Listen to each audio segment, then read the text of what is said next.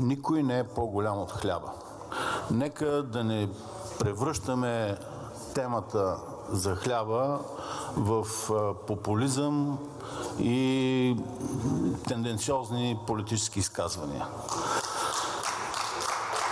Вчера имаше много хора, които ви поздравиха за това, че защитавате позицията на българските производители. Само в рамките на няколко часа обаче изведнъж се появи този чудодеен анализ, за който ние мислим, че е Дилян Пеевски, вие казвате, че не е така.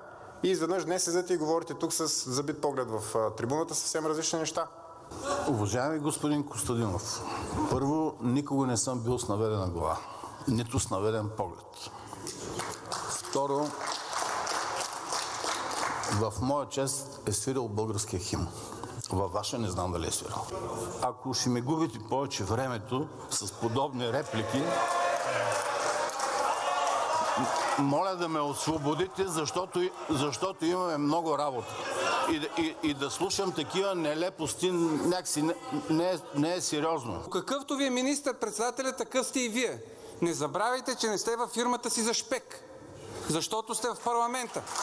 И ще изпитвате уважение не към мен, ще изпитвате уважение към 350 хиляди човека, които са гласували за възраждане. Ще седите тук и ще отговаряте на всички въпроси. Един човек се провиква оттам невъзпитано и казва дай си оставката. Ма веднага ще си я дам, само че когато ме поискат по правилния начин и който трябва. А наистина, персонално, господин Костадинов не ме е назначил и не е гласувал за избора на този кабинет. Първо, министъра беше с високо дигната ръка, глава. Второ, забраната, която вие атакувате, не работи, господин Костадинов, и вие много добре го знаете, защото и към днешна дата зърното, което е затворено в Украина, благодарение на политиката на Русия, която затвори коридорите за изход от Украина, е в цяла Европа. Предлагам да направим една процедура по допуск, да влязат санитарите от Карлуково Господин Искрен Митев всеки ден тук ни забавлява с някакви нелогични неща. Аз предпочитам цената на месото да е малко по-ефтина. Аз предпочитам олиото да е с малко по-ниска цена. Аз предпочитам хляба да е с по-ниска цена.